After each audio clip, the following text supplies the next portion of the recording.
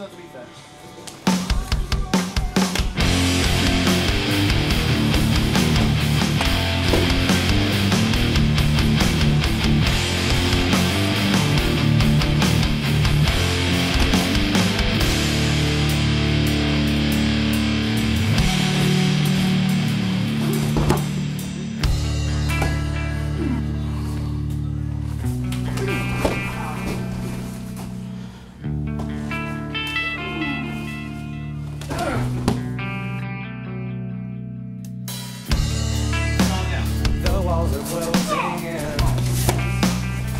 touch chills my skin.